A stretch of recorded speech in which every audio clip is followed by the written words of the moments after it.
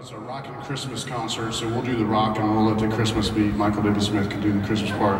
We'll do a couple of Christmas songs, and this is uh, this is my my favorite. This is we have a Christmas record that came out a couple of years, a few years back. It's called Christmas Offerings. Anybody have the Christmas Offerings?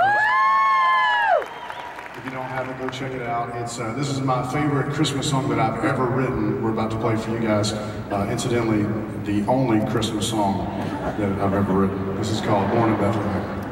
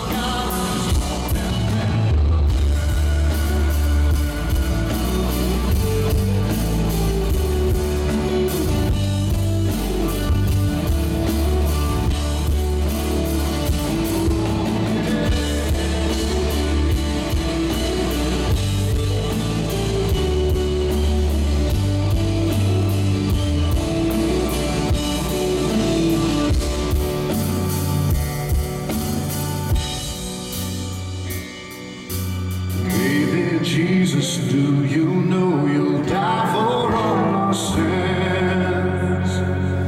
Don't be afraid for in three days you.